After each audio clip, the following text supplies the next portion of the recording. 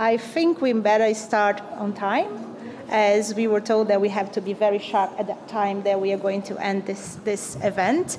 So let me start first with a warm good afternoon to everybody here. Excellencies, friends, my name is Ana Paula Souza, and I'm a human rights officer at the Office of the High Commissioner for Human Rights, and I'll be facilitating today's discussion event, what, what human rights at 75 means for climate justice now. This event is a joint effort by the Office of the UN High Commissioner for Human Rights, UNEP, UNDP, UNFPA, FAO, UNICEF, WHO, UN Women, UNECE, IOM, UNODC, ILO, ECLAC, UNHCR. We re I really made an effort to mention them all, so you can see this is really part of a joint collaboration with with the UN uh, with the UN system, and is organized under the umbrella of the UN Environment Management Group, Issue Management Group on Human Rights and Environment. 70 years ago, in the aftermath of the Second World War, the General Assembly of the United Nations adopted the Universal Declaration uh, of Human Rights. The UDHR is a milestone document that envisions a world in which human beings can flourish free from fear or want, where human rights provide a blueprint both for preventing conflict and for promoting sustainable peace and development. Today's event brings us together from all corners of the world with different, vi different visions and roles to reflect together what needs to be done to ensure present and future generations have a fair chance to thrive here at COP28 and beyond. According to the best available science, we are approaching a critical threshold in the climate system from which it will be difficult to return. In this regard, climate justice and rights-based approaches plays a critical role with the supporting evidence for the effectiveness of this approach in the assessments of the IPCC AR6 report. Our speakers today will explore how rights-based and gender-sensitive and gender-responsive approaches, including climate litigation, lead to more effective and sustainable climate action. Using the words of High Commissioner Volker Turk, human rights is a force to reckon with, not because it serves the interests of the powerful, but because it has captured the imagination of the powerless. We have here a fantastic lineup gathered today who will be invited to examine how integrating human rights obligations in climate laws, policies, programs, and actions can ensure accountability for those responsible for climate change and justice for those harmed by it. Few clearinghouse rules. As all UNFCCC events, this event is being broadcast live. We have an hour and a half to cover an ambitious agenda, so I would like to ask our speakers to ensure your remarks speak no more than four to five minutes.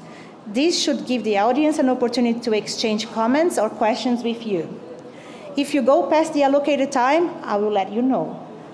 Apologies in advance as I'm aware how hard it is to keep your thoughts to our thoughts to the point when we have so much to share and we are so passionate about what we are sharing.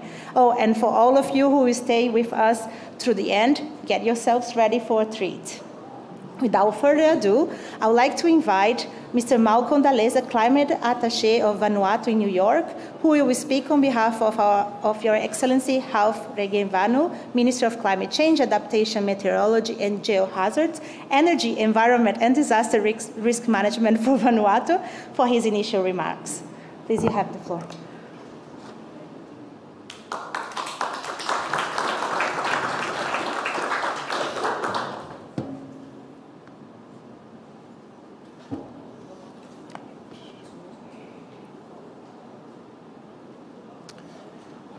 Good afternoon, uh, colleagues, excellencies, distinguished guests. It's uh, indeed an honor to present, uh, to make this introductory remark, remarks on behalf of my minister, who unfortunately uh, is juggling uh, other engagements.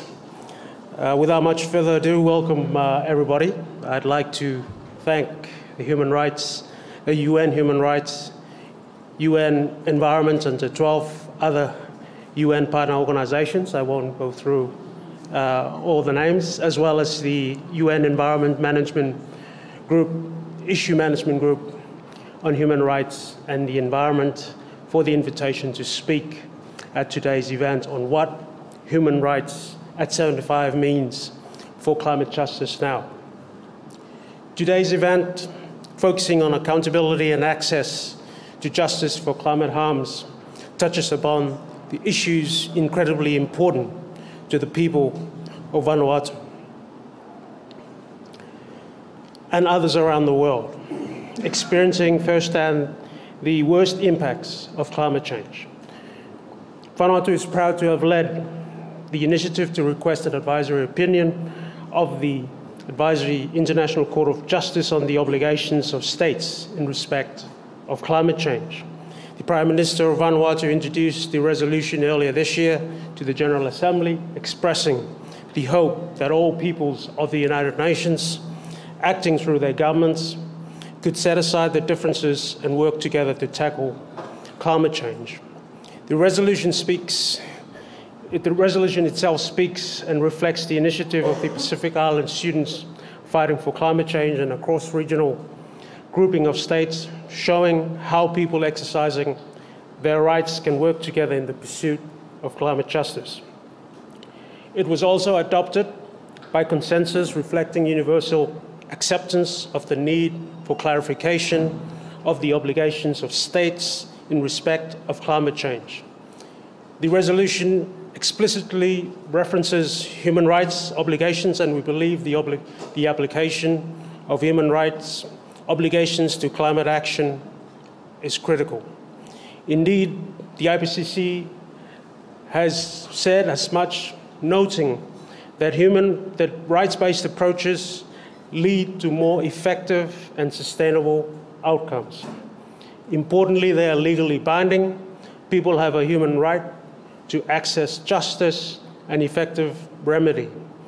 In the context of climate change, this and other rights have not been honored. The climate crisis is a human rights crisis, one which only human rights-based solutions can help address, and we look forward to the outcome of the ICJ process and are pleased to note that many states are engaging with the process and a large number of human rights texts have been submitted to the court for its consideration by the Human Rights Office and others. And we are also pleased that around the world, people are going to the courts, to governments, to polls and demanding accountability for climate harms. We are glad that you will hear more about some of, those, some of these efforts from the distinguished speakers today, and we hope that the advisory, the ICJ advisory opinion will reinforce and strengthen them. People of Vanuatu and people around the world are demanding accountability to these negotiations in courts and in every way we can. We urge you to listen.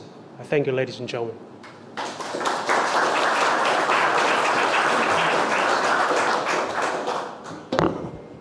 next, I would like to invite also for opening remarks, uh, Mr. Jose Manuel Salazar Xirinachs, Executive Secretary of the Economic Commission for Latin America and the Caribbean.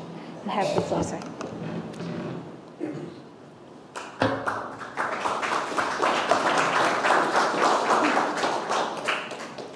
Thank you. Good morning. I'd like to salute Mr. Michael Forst, UN Special Rapporteur on Environmental Defenders under the Aarhus Convention. Um, Mr. Malcolm Dalesa, Climate Attaché, Vanuatu Permanent Mission to the UN. Uh, ministers and authorities, esteemed environmental defenders, representatives of indigenous people, youth, women, trade unions, and local communities, colleagues, and friends. At the Economic Commission for Latin America and the Caribbean, uh, we are very honored to co-organize this event along with other 13 uh, UN agencies. Thank you very much, everyone, for being here. Climate change represents one of the greatest threats to the full exercise of human rights today. Global warming resulting in extreme weather events, biodiversity loss, soil erosion, and sea level rise have a devastating effect on our planet, but most importantly on the rights of our people. The impacts of climate change seriously compromise our well-being and disproportionately affect those which are most vulnerable, including women, indigenous peoples, children, youth, migrants, persons with disability, coastal communities, and lower income groups. As a result, the holding of this side event on what climate justice means today, precisely when we commemorate 75 years of the adoption of the Universal Declaration on Human Rights, and by the way, also the establishment of ECLAC, this is why I'm, I'm holding this 75 number here, uh, human rights and the rule of law have proven to be essential for economic growth, social cohesion, environmental stewardship, and sustainable development. When the Universal Declaration was adopted back in 1948, we were still far from recognizing the right to a healthy environment. But such milestones set the foundations for what today has become a whole ecosystem of rights uh, for sustainability comprising those of life, water, sanitation, health, education, food, adequate housing, and of course, procedural rights to, of access to information, public participation and justice. Human rights and climate go hand in hand. Not only does climate change severely impact the realization of rights, but human rights are essential to counter its effects. Hence, climate action must be consistent with human rights obligations, standards, and principles, and a human rights approach must be mainstreamed into climate mitigation and adaptation. The Universal Declaration on Human Rights is an instrument that has inspired and continues to inspire international commitments that place us on a better foot to tackle climate change, notably the nine core UN human rights uh, treaties, but also the UN 2030 Agenda for Sustainable Development, with its SDGs, in particular 13 and 16, the Paris Agreement on Environmental Democracy treaties, such as the Aarhus Convention and Latin America and Caribbean's Escazú Agreement. Serviced by ECLAC and coming from my region, allow me to briefly refer to the Escazú Agreement in one minute. As the first regional environmental treaty in Latin America and the Caribbean, and the first in the world to include specific provisions on environmental human rights defenders, the Escazú Agreement represents a valuable regional contribution to ensuring that environmental and climate actions respect, protect, and fulfill human rights and basic democratic principles. In addition to explicitly recognizing the right to a healthy environment, placing equality at its center and focusing on protection of the most marginalized and excluded, the agreement is a powerful tool for enhancing uh, climate governance and countering the negative impacts of climate change in the countries of the region. The Escazú Agreement can further support the safeguarding of human rights in the context of climate change by fostering access to climate information, public participation in climate decision making, and access to justice in climate related matters, and protecting climate activists. I therefore encourage all countries of Latin America and the Caribbean to join this innovative treaty, and I take uh, advantage of this opportunity to invite you to attend the third conference of the parties to be held in Santiago, Chile, next 22nd uh, of April, coinciding with the International Mother Earth Day. At ECLAC, we are also making an urgent call to transform our development models and transition to a more productive, inclusive, and sustainable future. What we have learned in Latin America and the Caribbean is that climate justice is not only a legal, but also a moral imperative. First, because Latin America and the Caribbean bear less responsibility than other regions for the causes of climate change, yet it is highly vulnerable to its effects. Second, because despite recent progress, my region continues to be the most unequal region in the world in terms of the distribution of income among its population. This, this inequality translates into environmental terms, but is also reflected in gender, racial, ethnic, and territorial inequalities, which means that various population groups are lagging behind. And third, because according to repeated reports, it is the most dangerous region to defend the environment. And this situation is totally unacceptable. Far from discouraging us, these facts should motivate us to uh, take further and more impactful actions. We must not forget that human rights are an essential component for the prosperity and well-being of our societies and need to remain at the core of the climate agenda. So let us seize this momentum to make climate rights and justice a reality for all. Thank you very much.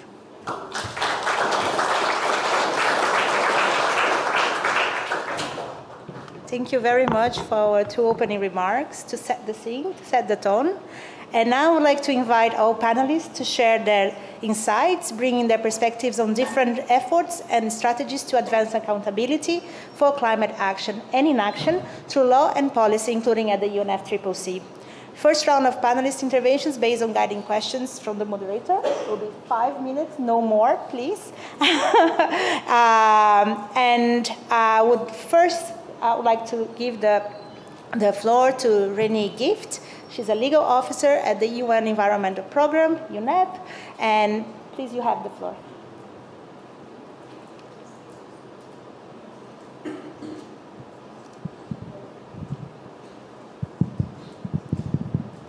Hi, thank you so much, and uh, good afternoon to everyone here. Thank you for coming.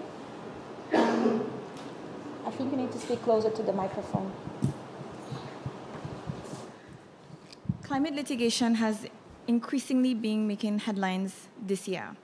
The number of litigants taking to courts to seek justice on climate change has shot up in recent years, but its importance goes beyond the numbers climate litigation trends represent an important litmus test for the state of implementation of environmental rule of law. The justice system is one of the primary mechanisms for enforcement of environmental laws.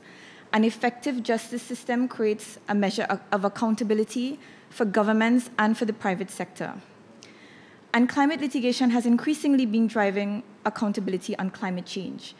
The IPCC's sixth assessment report recognized that climate litigation has influenced the outcome and ambition of climate governance. For those impacted by climate change, and in particular vulnerable and historically marginalized groups, climate litigation has given voice to their concerns and enabled them to shape the narrative and drive solutions on climate action. UNEP recently released its 2023 edition of the Global Climate Litigation Report, which you'll see on the left, supported by research from the Columbia Law School. I'll briefly share some key trends noted in the report, which is available online. Climate litigation has doubled by more, has more than doubled since 2017 when UNEP first began recording these trends. You'll see on the top left, it went from 884 recorded cases to 2,180 cases in 2022. Cases have been filed in 65 jurisdictions, up from 24 jurisdictions in 2017. This represents not only a dramatic increases in cases worldwide, but notably also in a broader scope of jurisdictions globally. What this means is that there has been an increase in regional representation of cases, including international and regional adjudicatory bodies. Whereas the cases from the US still form the majority of cases filed, an increase in cases from non US jurisdictions is also clear, showing that access to justice and climate change issues has taken root in more and more jurisdictions around the world.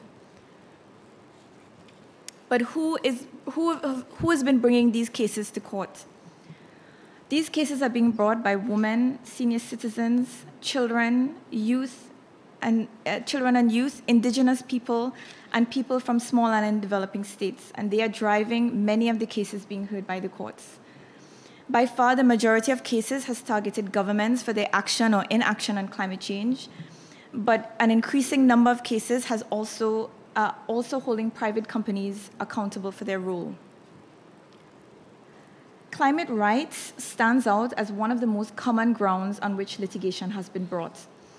Actions asserting that insufficient climate mitigation or adaptation violates plaintiffs' rights, including the right to life, health, food, water, liberty, family life, a healthy environment, a safe climate, and all of these are, have been grounds brought in the courts, and they've been brought at the international and national levels. I'll just leave you now with some key takeaways from these climate trends. First, that the right of access to justice underpins environmental rule of law and an effective judicial system. Courts can act where other branches fail. These trends demonstrate that individuals have been seeking and accessing justice on important issues affecting them. This is only expected to increase around the world as human rights uh, are further recognized and the, at the international national levels and climate change linkages are further being made. But perhaps the most important point, climate litigation has given vulnerable groups, and in particular, in vulnerables in particular, important avenues to influence climate policy outside the formal UNFCCC process. And I'll leave it there. Thank you. Thank you so much. Thank you so much, Renee, for bringing the finds of UNEP study on, on strategic litigation, highlighting the increasing trend to include human rights in climate litigation, which gives a voice to those harmed by environmental degradation, including climate change, to find redress. So thank you. I'll now uh, introduce our next speaker, uh, Tishiko King from Torres Strait Eight claimant and Mazigigal traditional owner, who will share uh, the perspectives, well, the case that they brought, the petition they brought to the Human Rights Committee. You have the floor. Thank you, everyone. Uh, Kapakut, good afternoon. My name is Tishiko King. I say Tish like a fish, and I'm a proud Kukalug woman from Kukugal Nation from the island of Masig in Zenadth Kes, known commonly as the Torres Strait Islands. Uh, uh, we are part of the First Nations groups of Australia. And so the health of our planets, our planets and as an islander is the health of our oceans, which is intrinsically linked to our human survival. And so, right now, Torres Strait Islanders, like many other low lying islands, nation states right across this globe, are on the front lines of the climate crisis where urgent action is needed to ensure they can remain on their homelands. King tides, erosion, inundation, and coral bleaching is threatening the homes and cultures of my people. While our government currently refuses to address some of those uh, uh, challenges that we face. Our crisis is being driven by the burning of fossil fuels like coal, oil, and gas.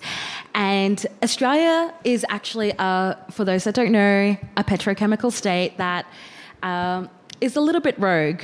We are the second largest coal exporter. We are the second largest LNG exporter. We are the third largest fossil fuel exporter. And we export more emissions than the UAE. And so in, two, in 2019, uh, eight Torres Strait claimants, uh, in partnership with ClientEarth, uh, came uh, known as the Torres Strait Eight, uh, brought a human rights uh, complaint against the Australian government to the Human Rights Committee of the United Nations over the government's inaction on climate change. Last year, on 23rd of September, the Torres Strait Eight made international legal history after the United Nations Human Rights Committee found that the Australian government is, in fact, violating its human rights obligations to Torres Strait Islanders by failing to act on climate change. The United Nations Human Rights Committee found that the government's poor climate record was a violation of our right to family life, the right to culture under the Global Human Rights Treaty. And it has been uh, made, I guess, really significant change with the International Covenant on Civil Rights, Political and Political Rights. This complaint was the first legal action brought by people of low lying islands who are vulnerable to climate damage against a nation state. And so this landmark decision obliges the Australian government to pay adequate comp compensation to our claimants and do whatever it takes to ensure the safe existence of the Torres Strait Islands. It also set pre precedent for Indigenous peoples right around the globe, especially for our Pacific Island nations and brothers and sisters across the ocean. This decision actually marks the first time an international court has found a country has violated human rights law through inadequate climate policy, a nation state has been found responsible for their emissions under international human rights law, and people's rights to culture has been found to be at risk from climate impacts. And so just hearing Renee before about you know the impact of what climate litigation can do this is, uh, this is one of three cases that have come out of the Torres Strait in the last four years. And on August uh, this year, it was in the Australian Financial Review that Australia tops the world in climate litigation. And we now know why as a rogue state. Thank you.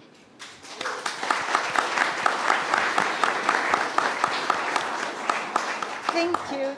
Tish, I think that's how you prefer to be called. Am I? Yes. Um, for sharing with us how the climate crisis is affecting your lives, livelihoods, and ways of living, basically who you are as people in Torres Strait Islands. The case in question became indeed a landmark case in international human rights system, setting a precedent for indigenous peoples and other groups around the world. So we should thank you for that. uh, the next speaker that I would like have the pleasure to introduce is Sagarika Sriram, founder of Kids for Better World, Children's Advisory Board for the CRC General Comment 26. And that's the thing that she's going to be speaking with us right now. You have the floor. Hello. My name is Sagarika Sriram, and I'm an 18 year old climate advocate based in the UAE. As a child, I feel I should be involved in decision making and being part of the group of people who arguably are the most affected by the climate change crisis currently going on. It is imperative that my opinion and the opinions of the millions and billions of children globally are considered in decision making. The General Comment Number 26 was created by the Committee on the Rights of the Child to involve children from all across the globe in decision making and including the fact that their rights and decisions are considered um, in all different aspects to parties and states globally. Our goal was to make sure that over 16,000 children's opinions were taken on board and involved when it came to considering their human rights. It is essential in this space that we are considered and we are not left out of this discu- discussion in so many different aspects. It's not just that as a child, I'm I'm listened to, but I'm not included. I want to feel that my opinion is taken on board and that I am being involved one on one in the decision making, and that I'm personally being considered and my rights are being put at the front line of this considering the climate crisis is something that will affect my generation and the future generations to come.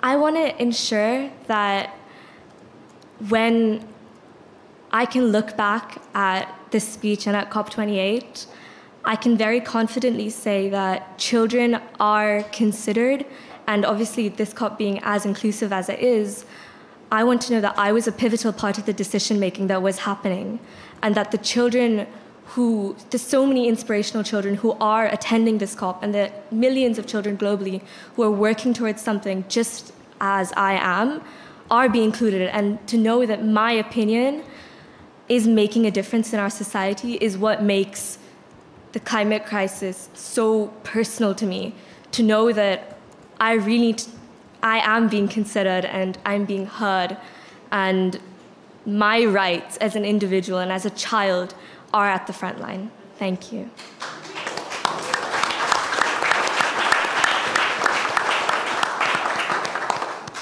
Thank you. Thank you so much, Sagarika. I mean, you get clapped twice here. we are all of you. Uh, and thank you especially for highlighting the importance of children to be involved in climate-related decision making. It can be no doubt that they must have a place at the table. They'll be, they'll be here longer than us, and we hope so, uh, paving the way for those yet to be born and who will inherit this planet that's our only home. So, and the second point, we need to hear what you have to say. Thank you. Um, I would now like to introduce Mishi Singano, Senior Global Policy Lead from the WEDO, Women's Empowerment and Development Organization. You have the floor. Thank you so much. Uh, I think it's sort of like a perfect flow from the young people to, to women.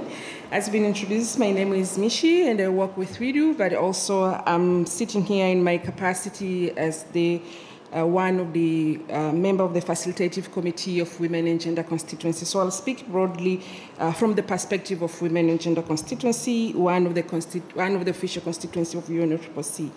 As women and gender constituents, for the longest time, we have really worked to advance gender equality uh, in the UNFCCC process uh, in specific, but also outside these walls and these processes. Yes, we understand the narrative that including women make economic sense. Yes, we understand and we agree that uh, women's leadership may have better result. But we don't strongly think that we should just include women because it makes economic sense or because it yield the result. It has to be we're involving them because it's their fundamental right to be in those spaces. Whether it makes economic sense or it doesn't. Because we have seen, for example, it takes it costs potentially three times more to bring a comrade with a disability who needs support than to bring me. So you cannot say, I'm bringing you because it costs me less and excluding the other groups. So I think uh, for the longest time we have been working and want to extend this invitation to you to start changing the narrative beyond economics justification, beyond result justification, to move the conversation on the fundamental right of everyone to live a dignified life and to have a space uh, on this and the decision-making table. When it comes to the GST, for example, as we all know, this is the GST COP. Women and gender constituents have engaged for two weeks religiously and committedly to advance uh, human rights and women's rights in the GST. It is unfortunately, however, that we all have seen the text that is out. It doesn't anywhere near reflect the two years worth of work that we have been pushed. Still, we've been asked to be content with the reference in the preamble. Uh, we have been asked to be happy that there might be some language and adaptation. But what's about mitigation? What's about the finances that need to go there? So it's past time that we need to justify and tokenize the right that I can give you a right here and a mention there. To us as women and gender constituency and to you as, as, as, as either from the government or from the UN entities, we are really asking you to work with us and with other civil society to make sure that the first GST strongly center women's rights and human rights. To us, a GST decision, a good GST decision, which is what we expect, has to have three results. One, it has to protect planetary health, and this is uh, important, and I'm sure my colleague uh, will speak about that in terms of phasing out fossil fuel, but it has to protect humanity. Lives have been lost, livelihood have been lost. We need a decision that protects humanity, and more importantly, while we are protecting or restoring planetary Earth, and while we are protecting humanity, GST decision must advance rights. Thank you.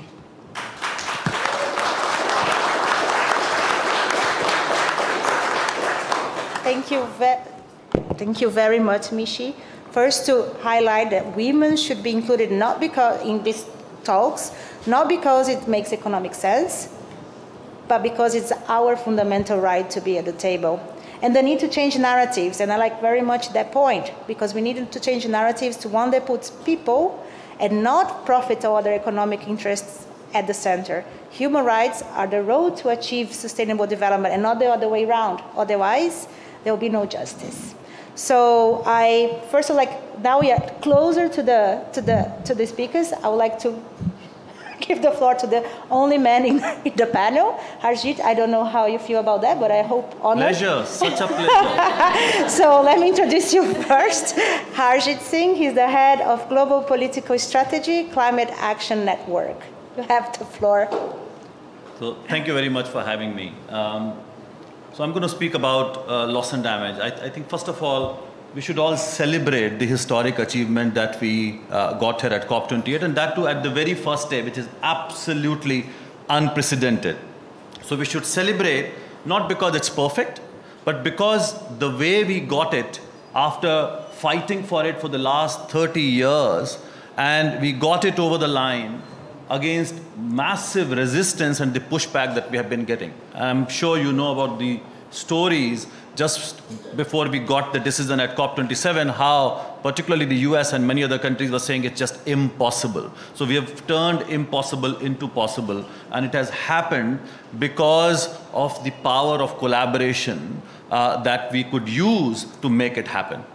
So it was not one person, one organization, but we all were together. And we should feel positive about what we got because we need those wins to inspire us right, in this doom and gloom scenario when many things are not really uh, happening uh, the way they should. Now, I think it's also important to reflect how it happened. I'm sure in those four or five minutes we'll not be able to go into a lot of details, but the way we all worked as UN agencies, as civil society, we worked very closely with media, many government negotiators, not only from developing countries, but also from developed countries. It, these were very intense last couple of years to make it happen, you know, even when the demand came 30 years ago. And it's important to recognize that we were very ambitious. And, and you know, this is not to boast, but as Climate Action Network, way back in 2021, we actually declared that loss and damage finance is going to be the litmus, litmus test for COP26, when actually we didn't see that kind of momentum. So we were the first ones who said we are going to take it to that level and let's not forget that was the first time all the developing countries came together and talked about loss and damage finance facility. Of course, many things changed after that and we generated more political will. We had floods in Pakistan. Pakistan was the chair of G77 and China. So many things happened, but the build-up has been going on for several years. And it was COP26 where we got that pivot to really start working on it and getting that kind of attention. And the reason I'm again emphasizing all this, that it was not just, you know, one part of the story, it was a whole choreography. That's the word we used when we talked about how we are going to really land that decision and working uh, in collaboration, as I said, with several stakeholders uh, and taking it to that level. Now, coming to the text, what we got, as I said, is not good enough. Um, there are many challenges. I'll not get into details again because of lack of time. Of course, World Bank be, being the host itself is a massive challenge that we are going to face to make sure that people have access uh, to money. Uh, for that, World Bank has to come up with a new avatar. Let's hope it does. That's what it has committed to. And on human rights, the document only you know, pays a lip service. It's only there in the preambular uh, uh, section. It is nowhere in the operative part. So how we are going to make sure that human rights of people are, are respected, promoted. So that's going to be a challenge. Um, and of course, we know that while wealthy nations, in fact, if you talk about putting it into text, it's wealthy nations who were saying, yes, we are with you and we would like to see human rights. But if you look at their track record around the world, including the wars that are happening, we know how much uh, rich countries really believe in human rights. So putting it in the document is one thing. I think we need to judge by their action and not by words. Now, what we really need to do now going forward, uh, given that there are several weaknesses, it doesn't talk about the scale. Replenishment cycle is like four years, which is extremely weak. Look at the way temperatures have been rising and how impacts are increasing. Uh, there is no mention of how the capitalization is going to happen and how we are going to connect it with mitigation adaptation. So we have several opportunities.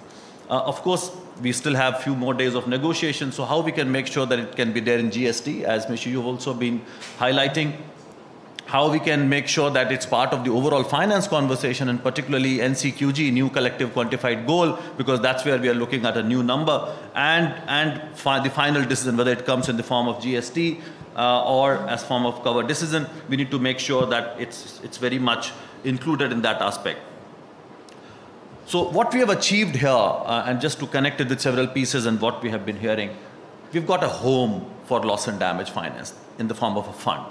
Now the efforts are going to go beyond because we know in this space the way US and others resisted and what we got in Paris was a clause saying loss and damage does not amount to or does not become the basis of liability and compensation. To have those principles in terms of reparation, compensation, liability, we will never be able to land in this space. But now that we have got a home, we need to work across other streams. So we heard about ICJO. I think that's a great effort. We should all be uh, supporting that and making sure that it becomes real. Litigation, again, we heard about it. That's an important tool that we should be using.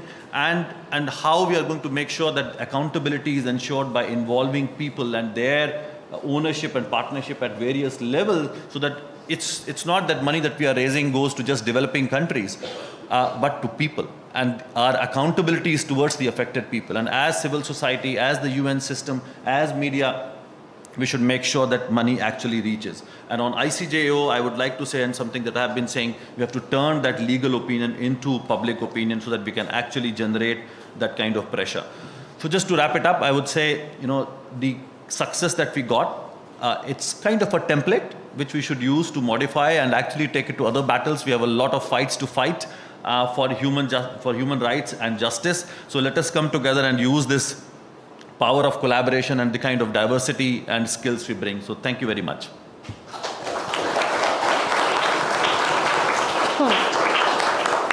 Thank you, thank you, Harjit, for highlighting the Loss and Damage Fund operationalized on the first day of this COP, which shows that through co cooperation, we can still push to achieve what once was considered impossible. We know there is still a lot of work to do within this fund. The challenges are enormous. We can do a side, maybe a whole day of COP just to discuss what the challenges are. Uh, but it shows that we can still have ambition. We should not censor ourselves in what we are putting forward as solutions uh, to tackle the climate crisis. So let's keep pushing. There's no other way. Uh, our least, uh, last but not last, least speaker, if you can say that, uh, is Mansi Shah. She's the coordinator self of the Self-Employed Women's Association, and she's here to share some insights on the Just Transition work program accountable to people and communities affected by climate change. You have the floor. Thank you so much, and namaste, everyone. I would like to thank the honorable dignitaries and the speakers and the organizers for inviting me to this event and uh, for giving me an opportunity to represent over 2.5 million poor self-employed women workers from the informal economy in India, the members of SEWA. The women whom I represent here today are the poorest of the poor. They are the street vendors, they are construction workers, the smallholder farmers, the salt pan workers, the landless laborers, and so on. Most of these women are uh, women workers are not registered, thereby putting them outside the purview of labor legislations and social protection. So Harjit thank you so much for pointing out that the loss and damage fund should reach the people. And these are the people who really need the funds because these are the women who are the most vulnerable.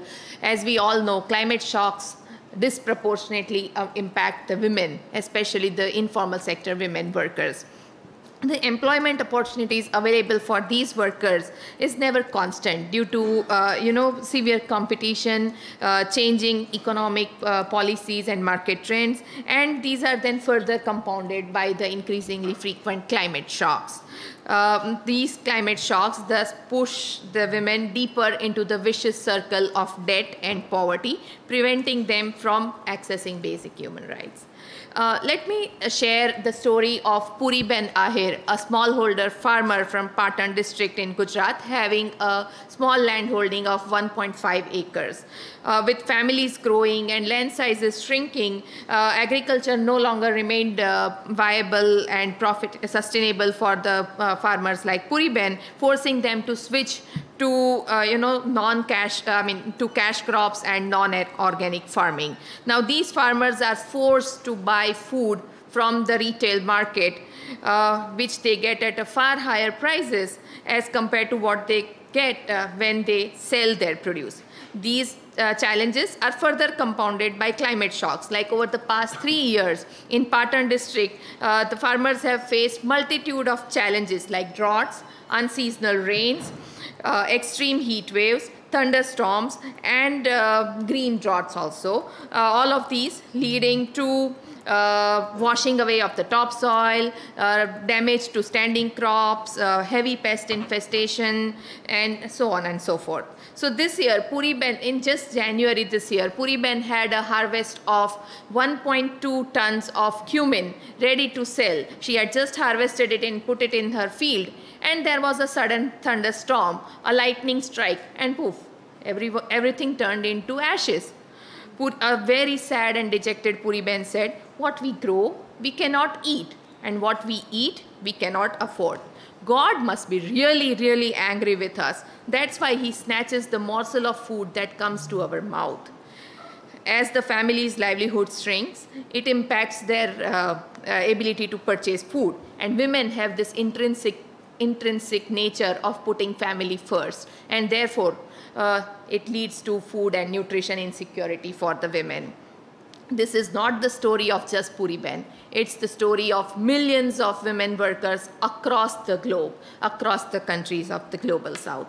Increasing climate shocks deprive women of basic human rights as well as right to food, right to livelihood, uh, it leads to increase in gender-based violence. And therefore, while human rights are being discussed in global discussions and dialogues, as a trade union of informal sector women workers, SEWA strongly believes that there is a need for an inclusive, bottom-up, need-based and demand-driven approach to ensure right to work, right to livelihood, and therefore right to food. Thank you.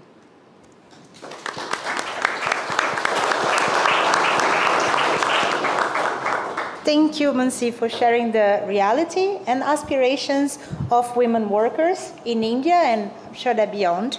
Just transition is about workers, including workers in the informal sector, and about communities. It's not about companies getting richer. It's about addressing inequalities, promoting decent work, and reducing poverty. This is why we need to bring this message to the negotiation table. And borrowing a sentence from a, another union leader, just transition without justice is just a transition. Uh, we now came to the conclusion of our round of, of, of, speakers. Thank you so much for stick to the time. That means we have about 20 minutes for an interaction with them. So you can, you are welcome to share, raise your hands and share comments, questions. And I see one already over there. There will be microphones around. So I will start from that side and I will come all the way here. So if you can, if a question is related to someone specific in the panel, please direct it to them. And then we will see if we, if we compile them or we, a few of them or you go one by one. Uh, no, thank you so much for a really powerful panel. My name is Emina Ćerimović and I am a senior researcher at Human Rights Watch focusing specifically on the rights of people with disabilities. And since today is the International Day of Persons with Disabilities, and knowing that people with disabilities are disproportionately impacted by climate change, I would really like to hear from all the panelists um, on how do they include people with disabilities in their work.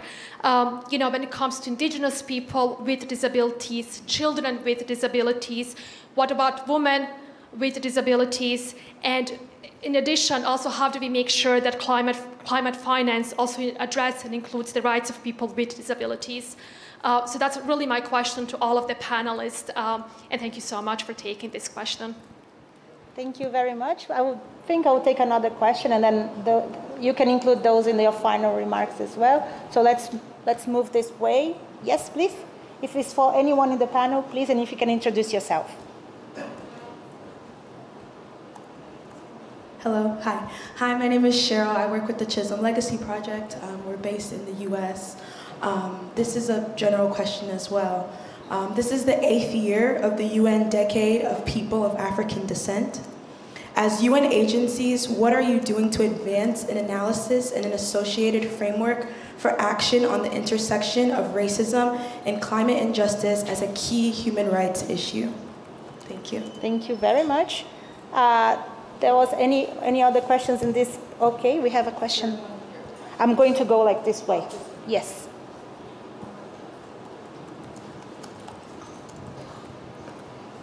Uh, I'm Peter Mahal from South Sudan. As a human rights uh, activist team, uh, the climate change is affecting lives of many in different uh, levels. I I do not know exactly whether there is a category on rating and giving the justice based on the effects of each an individual. That is a question that could be answered for me. Thank you. Okay, thank you very much. And then I think that you will be next. Uh, thank you so much for your presentation. My name is Maria Anaya. I am a PhD student at Cornell University from Colombia. Um, so I have a, a brief comment. Uh, my comment is that here at the COP we are talking a lot about human rights um, its relationship with climate change. And I, I wish judges from the ICJ and also from the International Tribunal for the Law of the Sea and also for the, from the Inter-American Court of Human Rights could be here because uh, we all know that there are three different um, oh, advisory opinion requests requests before these three, three different tribunals. So I wish they were here just to see uh, and to hear the voices uh, from different people just sharing their experiences and how uh, they really connect not only uh, like uh, from the legal perspective, but also from the, you know experiences on the ground. So my question, I think it is an open question, but I, I, I wish um, the representatives of UNEP and also I think Tishinko, uh, apology if I'm mispronouncing your name, but uh, my question is, uh, in what ways do you think climate litigation and specifically rights-based climate litigation influence negotiations at the COP or the positions taken by different stakeholders? Thank you. Thank you. Uh, okay, we have two more hands. Is that it? Okay. Yes, three more hands and that four more hands and then we are done. Unless we have questions online and then you let me know. Sure. Thank you very much for your insightful presentations. My name is Harry Chigasamba. I'm the Human Rights Advisor of the World Blind Union. And uh, my question builds on uh, the first question on persons with disabilities, but taking that discourse or conversation within the space of uh, climate litigation, we do understand that uh, persons with disabilities face a myriad of challenges when it comes to access to justice, alone, and now we are going to climate litigation, which has its own uh, protracted challenges as well. Lots of tests to prove before the court, issues of causation, issues of locus standi, and all that, but also looking at the capacity of uh, persons with disabilities or their representative organizations in that space. What advice or suggestions would you have to increase or amplify the disability angle of climate change litigation. Thank you. Thank you. Bula Kavita from Fiji, Climate Action Network. Um, my question is around climate reparations. We talk a lot about justice and then the conversation is about finance and all very important, but fundamentally it is about reparations. And I'd like to understand how can the international human rights law system and processes be used in a way where we can start really having conversations about lobbying and advocating and getting research, not just monetary, but really when we're looking at reparations as a whole, what does that mean? Thanks. Thank you, everyone. Um, my name is Claire McGuire. I'm speaking from the International Federation of Library Associations. Um, we are cultural rights champions, and I just came from a workshop in, in Geneva on um, the role of mainstreaming cultural rights in preservation, and we spoke a lot about climate change. Not only the threats that climate change has on cultural sites and intangible heritage, but also looking at culture and heritage and intangible knowledge as sources of um, climate uh, climate action and climate knowledge. And so I wonder, general question, if you think the cultural aspect of um, human rights and ju climate justice is being adequately represented in these discussions, and if not, how do we mainstream the cultural rights aspect into a rights-based approach? Thank you.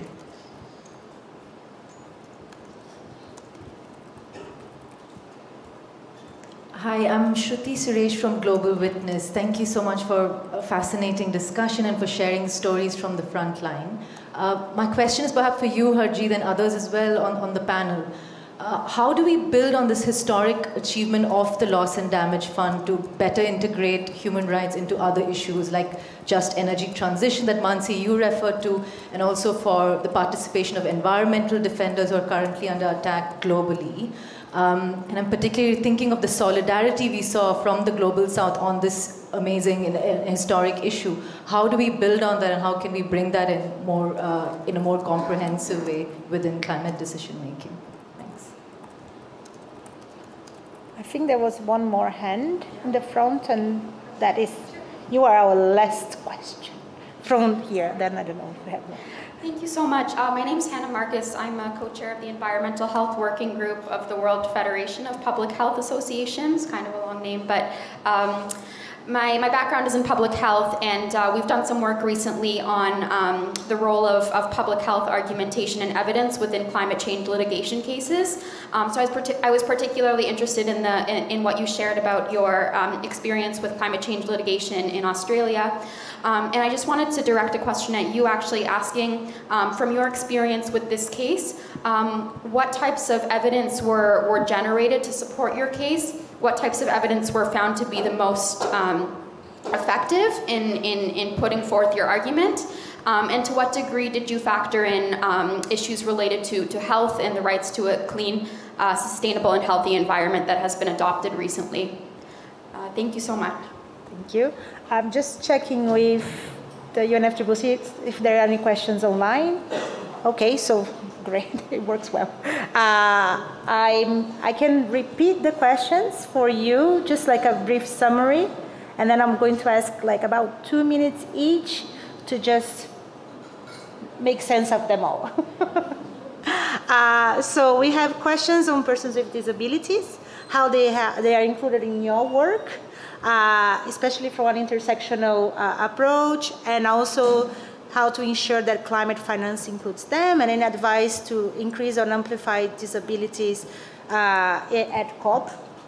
Uh, then there is a question also on intersectionality, but that one is on race and climate change. Uh, we have a, a, question, I'm not sure I completely understood, sir, but it's about rating of justice and climate change, how we can, we can measure that, you know, justice is being achieved. There is a question for UNEP, for Rene and Mishi on climate litigation, how, it can how you see that is influencing negotiations at COP and the positions of states. We also have a question on climate reparations. How can the human rights system be used for reparations and what, that, the, would, what would that mean? Uh, on the right to culture, uh, is that being adequately reflected in the negotiations? There is a question for Harjit on how do we build on the historic achievement of the Loss and Damage Fund to integrate human rights in other streams like on just transition and how we can build on the solidarity that was showing from the South on that and then Tish, you have a follow-up question on the, on the case on the Human Rights Committee. I think, I hope I summarized well. Uh, so let's continue the same order, Renena, but, but let's try to be very short on our comments, but I mean, it's still comprehensive to give everybody, you know, feedback. Thank you. Thank you everyone for your questions. I'll just try to attempt to um, respond to some of them. Um, the, one of the, the questions on uh, what we're doing on climate justice and human rights and racism. Um, as you know, we recently published our environmental rule of law report, the second version, which talks about uh, the definition of environmental rule of law and the importance of it for maintaining um, and promoting human rights. And one of the areas that is addressed both in the first and second edition of the environmental rule of law report is um, the role of or how racism, racism can undermine environmental rule of law, and it really highlights the importance of this even in environmental management. So I think um, the environmental rule of law report is really like a, a, a sort of, um, or as, is meant to be sort of a gold standard for what uh, we should, um, what countries should establish um, to, to manage environmental, uh, to manage the environment. So the fact that it highlights so much this aspect of racism and what and how um, action against racism or, or, racism itself can undermine environmental rule of law, I think is, a, is very important. Um, there was another question on uh, how climate litigation can inf- influence the negotiations at COP. I think um, one of the most important, um, the, the, key um, points coming out of climate litigation is, is so much that it the impact it has on what countries are doing in their own, uh, the national level, in their own legislation. And so, I mean, we often complain about, or, or there, there are often many complaints about countries, what they negotiate and how that reflects at the national level. And I think that's why climate litigation is so important, because this has so many impacts on what countries, uh, governments, what the private sector in their own countries are required to do. Um, so I think that's really the focus of climate litigation. Countries can say things, they can make promises at the, the international level. You know, um, private sectors can, private sector can, uh, you know, they're also bound by the, the national law in which they operate in the countries. But climate litigation has a direct impact on the actions of governments and private sectors in their own countries. Um, and I'll just take one more question which is um, on the cultural aspect and how this could how this could be more mainstreamed into climate litigation. And I just wanted to just quickly draw reference to the example of the Daniel Billy case, the, in the, the Torres Strait, Islanders aid case, because cultural aspects are exactly what came into play in that case, and what, which play cultural aspects play such an important role in the court recognizing the impact of climate change on the way of life of, of Torres Strait Islanders. And that was important, uh, an important case also because it was one of the first times that cultural aspects were actually raised as, uh, like the right to culture was raised as a, a reason why uh, government inaction uh, on climate change affected the way of life. And I think the important takeaway is that these points, these, these arguments just have to be made. You know, these, um, countries and litigants are finding more and more innovative ways to link climate change to human rights. And those, those linkages are there to be made. There's, climate change, as you all know, affects our way of life in many different ways. It's up to litigants to find these ways and to argue this before the courts. And I think one, one more point to make is that the outcome of these cases is not so important as to the fact that these cases actually are coming forth and are, are being made. We, uh, litigants um, and governments learn a lot from these arguments, and I think that they inspire and motivate, they drive cases, future cases. So even if those cases, those arguments are being made, and you know the case isn't won necessarily on the merits, there's a lot to be gained from just making that case and, and putting, uh, drawing visibility to these issues. Thank you very much, Renee. We will need to be a little short on our answers from now. On. And there has been a question from the folks following us online, and it's for Tish and Sagarika, and it's actually they want to know how are young people being included in the negotiations. So if you can just add to that, you may have another 10 seconds. No, just kidding. I'm such a fluffer as well, so love yarning. Um, okay, so uh, starting with disability justice is that there are still um, challenges that we're um, sort of facing to find what best suits for um, you know specific accessibility needs. But the biggest one is that and it comes back to what you were saying is that it's about having a seat at the table and what does that table look like and who is setting it. So we've really shifted the way uh, and where we have, uh, you know, our gatherings and places to ensure that um, those. Uh, those voices um, that need to be heard have the capacity and space and a safe space. Um, so thank you for that question. Um, and still always learning to how we can better accommodate our communities for that. Um, to the beautiful woman here in from Colombia, um, to add just to what Renee said is that exactly right. Like coming back from this case was that this case at a UN level was a decision we made first domestically we, because we wanted this to impact everyone globally. And so parallel to, you know, the text that happens here is UNDRIP, the United Nations Declaration of the Rights of Indigenous People.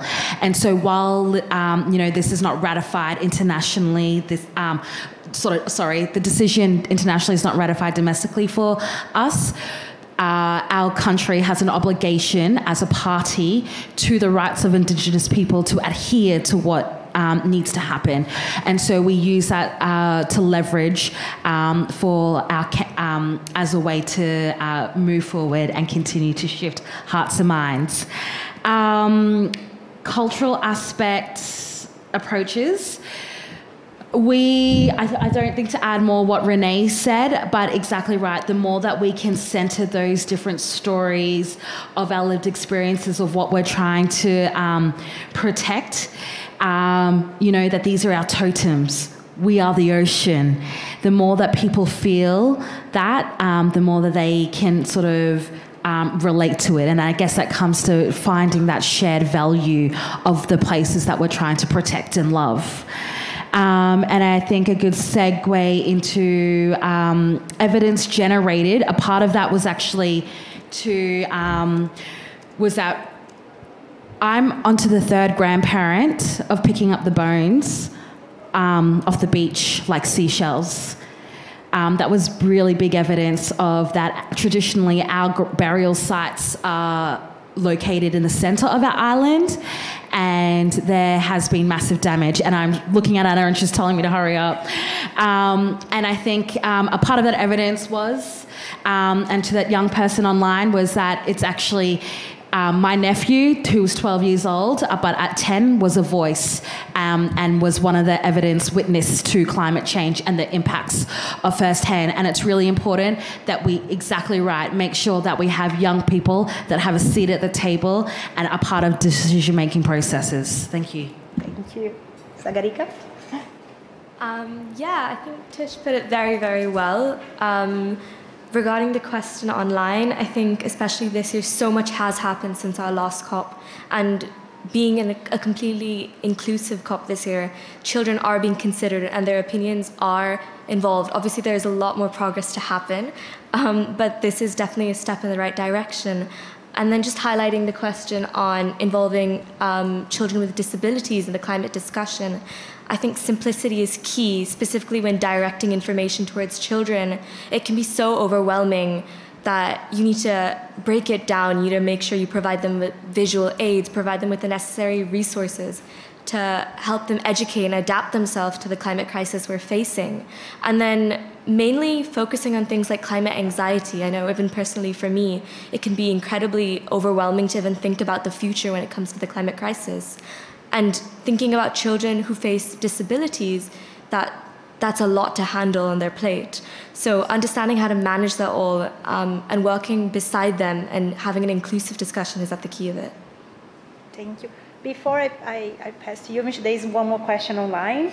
Uh, and is, the question is how human, the human rights of people living in poverty can be better addressed or considered in climate negotiations.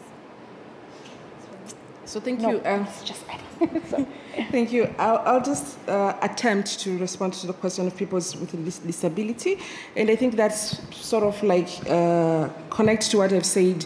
We, we our engagement in the spaces was really based on justifying the costs, what can be done, and for the longest time we've excluded this group.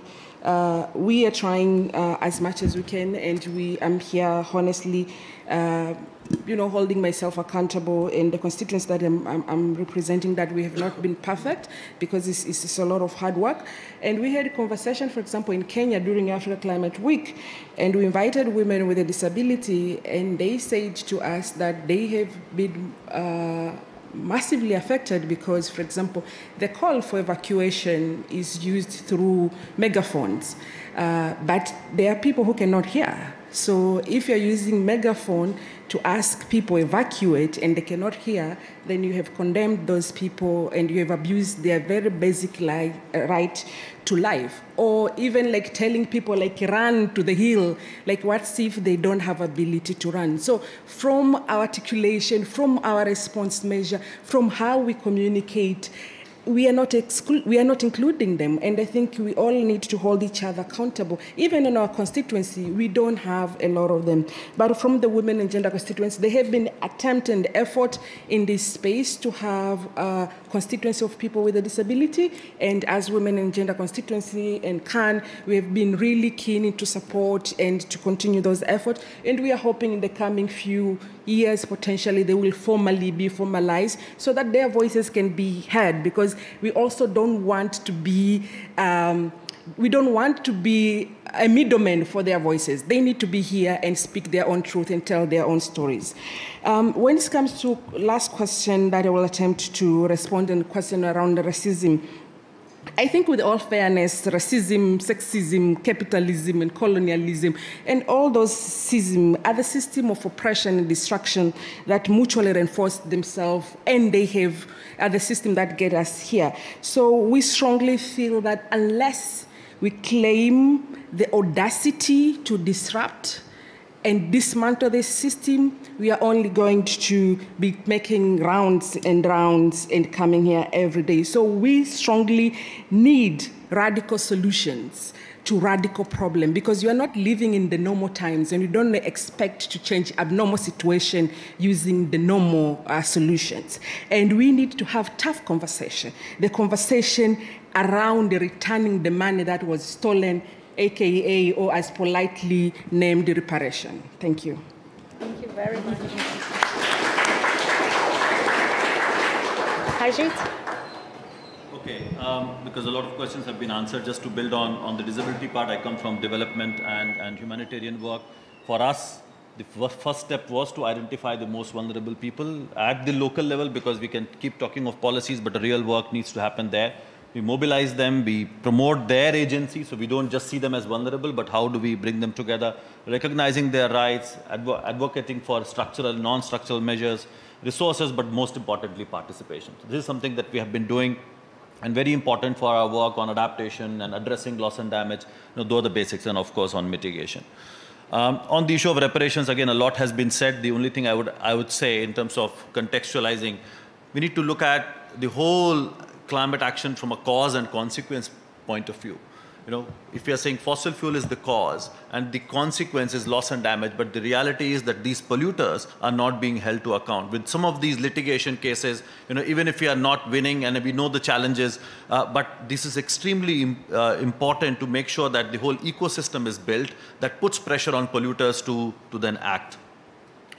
Uh, there was a thing about climate finance, and this is also a plea because we know that we all are talk about we all talk about intersectionality and we all push our issues. But I must tell you, we need to go really beyond the language that we get in these negotiations, and that's where. Imagine whatever language we want to get, and please don't take me otherwise. You know, I also come from you know sectoral work. We would like to see our language on women, women's rights, and children's rights, and disability getting reflected. That's absolutely important. But the most important thing is we need to start seeing money flowing. If there is no climate finance, the text will remain. And some of the champions that you see coming from rich countries are very good at getting it in the text. Ask them about money. If you are not giving money, you are violating their rights. You want them in the text, but you don't want them to be supported with real money. So challenge them on that. We need to unite our fight and not look at you know only from your own perspective, only from through your own you know community uh, aspects. That's important, but that's only the first step. The bigger step is fighting the big fight. And it, I must say, climate finance is the elephant in the room, which is not even there in the room, right? Unless we have climate finance, we'll not be able to achieve climate justice. And that's where we all must unite and fight together. That's the leaf that we should take from the whole loss and damage fight that we had. And let me connect that to the next point. I don't think I'll be able to give you specific answers, but what we did, we differentiated between technical and political aspects. We looked at our work from local to international level, including national. We actually did a very deeper analysis of who is our ally, and I must tell you, it's not binary. It's not only looking at developed and versus developing countries. There are many of our friends in the developed world. Uh, developing countries, we are not asking for money for governments, it's for people. Governments are just conduits of those things that we used and our primary accountability is towards affected people and rights holders. So how do we look at, you know, and, and it's applicable across all the issues as you asked, but of course, in, we don't have much time. I'm very happy to engage further if you want. Thank you. Thank you.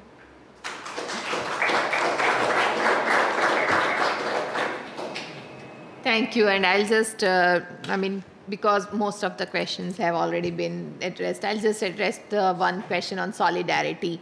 Um, so, uh, I mean, coming from an organization, a union of uh, women workers, what I have seen, what we have seen is that when it comes to building women's climate resilience and climate uh, strengthening their climate action, uh, the right to food, livelihood, clean water, clean air, clean energy are all basic rights of women. And to ensure access to these, there is a need to organize. We have all learned, and we strongly believe that rights must be demanded bottom up not requested to be handed down uh, to the poor women. And therefore, organizing women, collectivizing them, building their collective bargaining power, negotiating power is the key. And, uh, but we also acknowledge but that with rights comes responsibilities. Responsibility towards nature, towards humanity, and towards one's own self. And therefore, SEWA has launched a Clean Skies campaign that focuses on uh, creating awareness and education for women about climate change, but also the impact on their lives and livelihoods and of their action. It, it looks after, it looks uh, at how do you identify what are the energy solutions or clean solutions and enables facilitating access to them. And it works on aggregating the carbon savings of these women through their small small climate actions and linking them to the carbon market thereby generating clean green energy solutions but also livelihood solutions for women. This is what at SEWA we call just transition, transition that generates green livelihoods and employments which are decent and dignified. Thank you. So, yes, more. I think like they deserve more. More.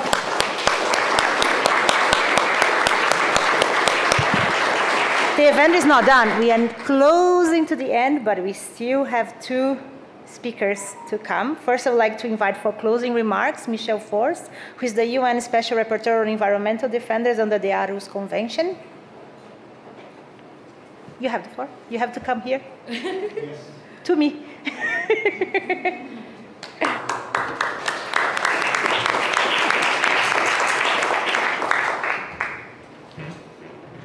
Thank you, Anna Paula. And I guess I have more than three minutes, or? You have maximum. No. Okay. well, that's a joke because I've prepared well in advance my, my statement, in fact. Uh, it's a pleasure for me to, to be here and to uh, thank you for the, to the organizers for um, inviting me to uh, um, uh, give some, some concluding remarks to these uh, uh, wonderful um, panel discussions on climate justice. It is something very important for me today to have defenders at the table as the main speakers to discuss on climate justice and more specifically on accountability on climate justice uh, and uh, at the occasion of the 75th anniversary of the Universal Declaration on Human, Rights. And I'm very glad that was the case today. I've been uh, really impressed today by all your testimonies, uh, uh, your efforts and your brilliant strategies to advance accountability for climate action. And thank you also for reminding us uh, that we can win battles if we, try, we can join our forces. And indeed, uh, as you rightly pointed out, uh, uh, the loss and damage funds is an incredible win, but we must continue the fight, the fight to include a clear language on participation of human rights defenders and indigenous peoples in decision-making processes. But I also would like to remind us of an, another anniversary, uh, because it is also the 25th anniversary of the UN Declaration on Human Rights Defenders, uh, that was adopted on the 9th of December 1998. And clearly, at the table, defenders like you embody uh, the right to defend human rights. Uh, and we heard today very inspiring examples uh, of what it means uh, to be a human rights defender and to use all possible means, including litigation, to claim your rights. And this is why at the UN we must ensure that defenders can effectively exercise their rights every day on every continent, in every country. And this starts for me with the inclusion and meaningful participation in decision making, in decisions that affect them, in decisions that affect their exercise of their human rights. Discussions on how to address climate change is a good but it's an unfortunate example of the lack of safe and meaningful participation of defenders, and especially indigenous peoples, in the decision making. Most indigenous peoples are at the front lines of the defense of environment. And yet, while they are usually those who contribute the, less, the least to environment degradation and to climate change, they are also those the most affected by it, those the least consulted in discussions on what to do to reverse the trend. And they often suffer uh, further violations of their human rights uh, because the decisions made uh, in discussions uh, where they were not involved. I cannot help uh, but think of all my meetings uh, with climate activists and environmental defenders, uh, including children defenders, uh, since I've been appointed last year to this new mandate uh, as Special Rapporteur on, on environmental defenders. Um, women environmental defenders gave me moving testimonies of gender-based violence uh, by law enforcement officers, including in UK. Environmental defenders uh, shared with me concerns uh, and testimonies of the violation of their rights. Many of them spoke of the lack of proper access to information, proper public participation, and access to justice, uh, the three pillars of the Aarhus Convention and the Escazú Agreement. Uh, this is for me a clear illustration of the lack of political will by states uh, to implement their obligations. Uh, believe me, the so-called green transition to fight climate change cannot be achieved and will not be achieved without meaningfully involving those concerned. And even more, if this fight is conducted without the affected communities, without the defenders, it further endangers them. I could share many examples, and I probably don't have time to do that now. And here at COP28 uh, and in every other international forum, this is something that we must fight for. The recognition of the role of environmental defenders, uh, including indigenous peoples, uh, in the fight against climate change, against pollution and biodiversity loss. Congratulations again to the organizers and sponsors for a very inspiring discussion, and I'm looking forward to uh, hearing and to listening to the poem of Emi to close this event. Thank you very much.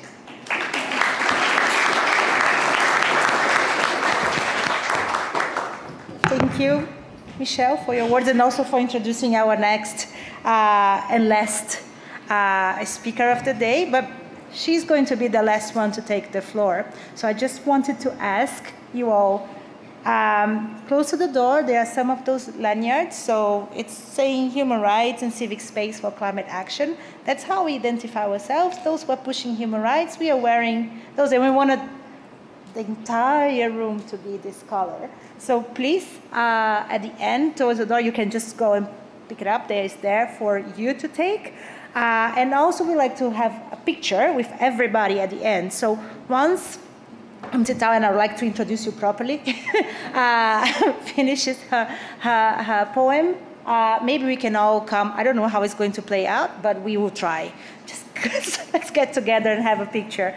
Uh, so without further ado, I would like to introduce you to Emtithal Mahmoud, Emi, uh, who is a poet, activist, and a goodwill ambassador for UNHCR, the UN Refugee Agency. We are all here to listen to your words. Please join us.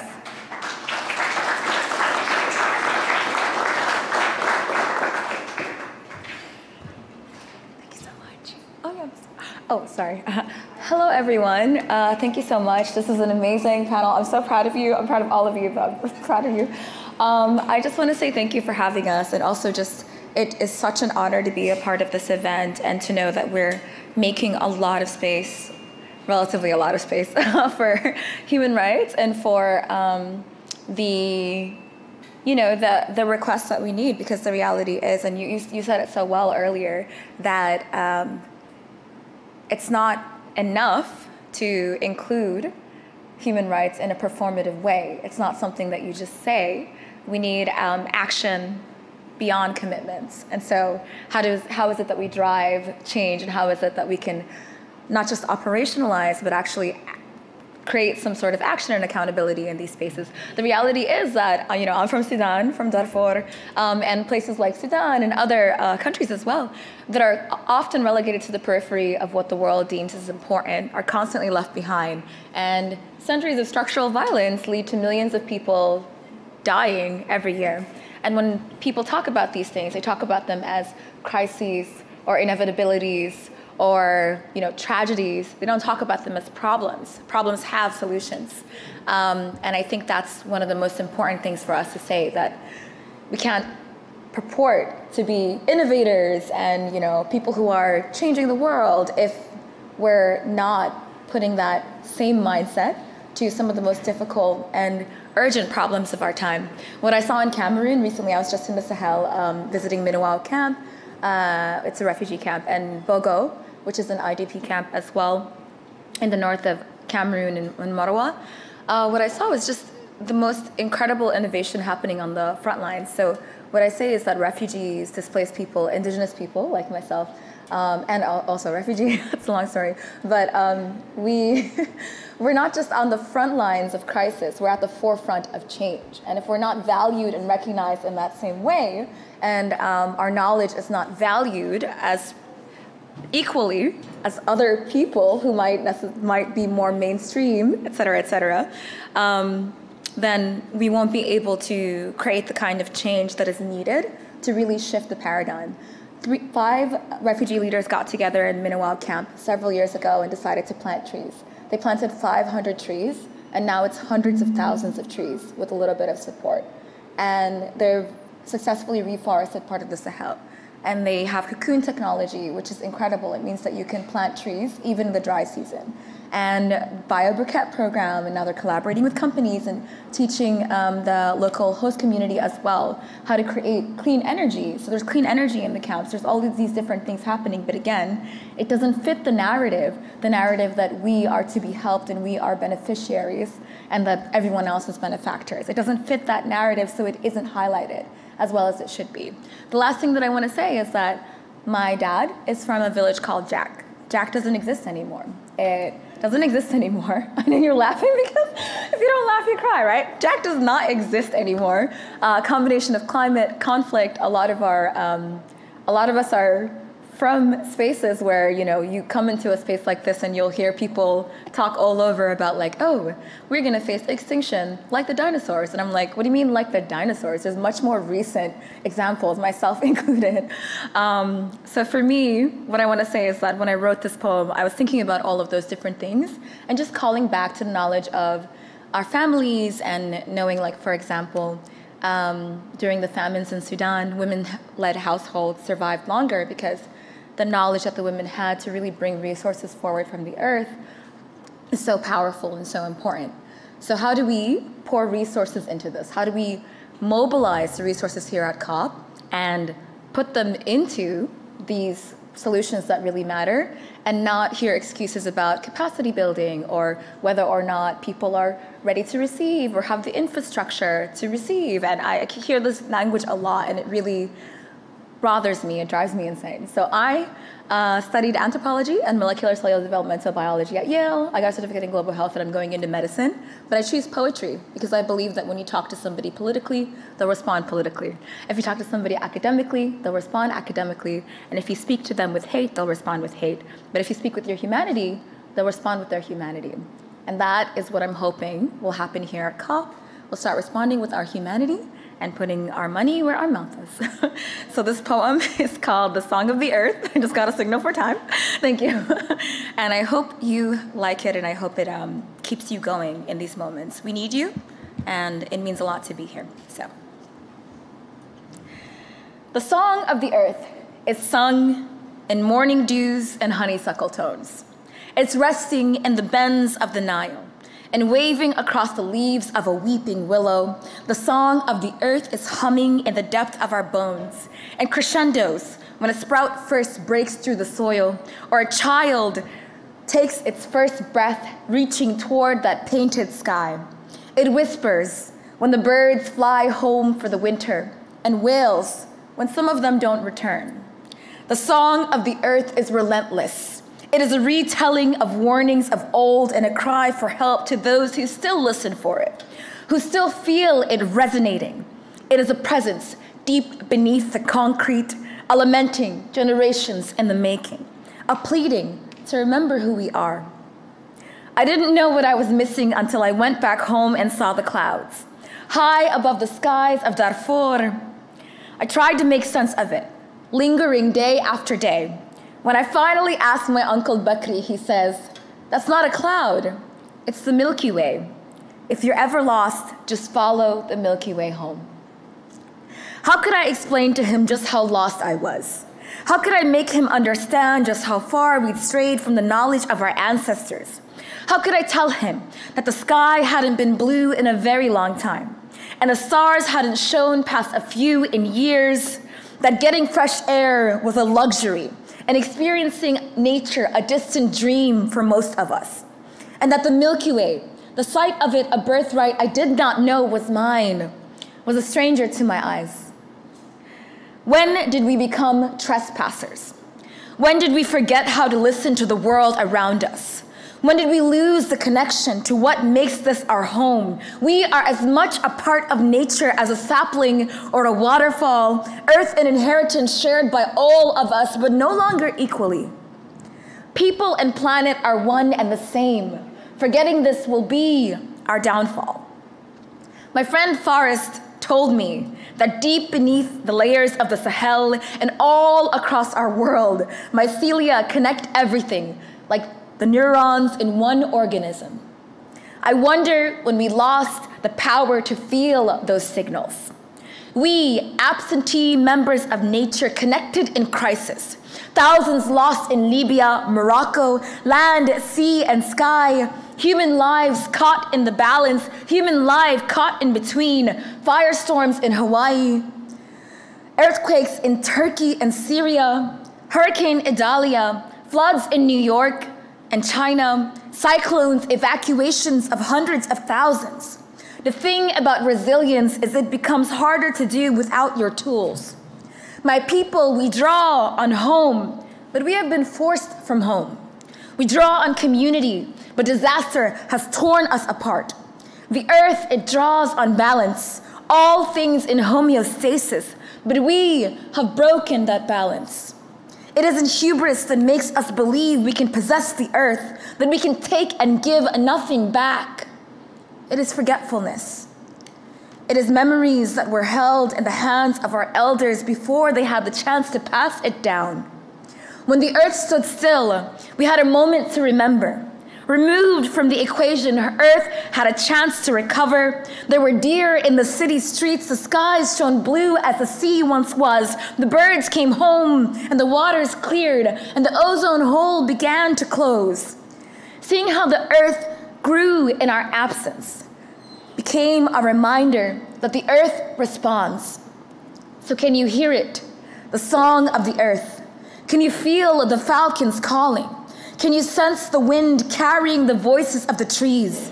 Can you taste the drops of long awaited rain and smell the cooling clay as it seeps below?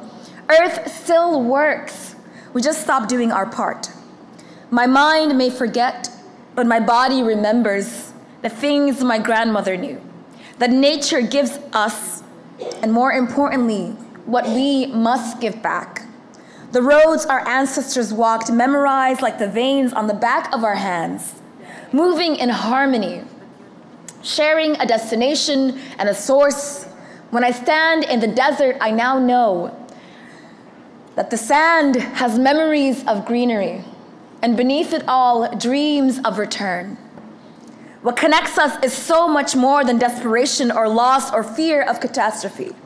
What connects us is our shared memory of our home planet, our love and fear of water, how we gaze at the stars and the stars gaze back. It is in our laughter and the home we carry in our hearts. It's in our voices and the stories we tell with our souls. It's in our future and the paths we will forge together. It's in this moment and our chance to begin again.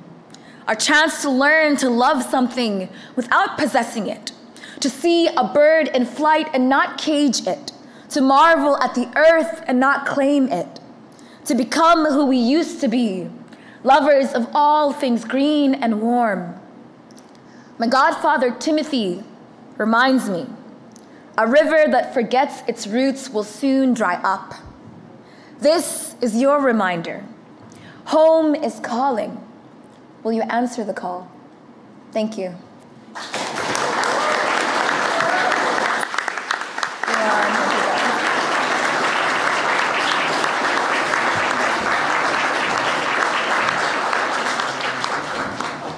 Thank you, everyone. Kindly please use the door on the left for exiting. Please use the door on the left to exit. Thank you.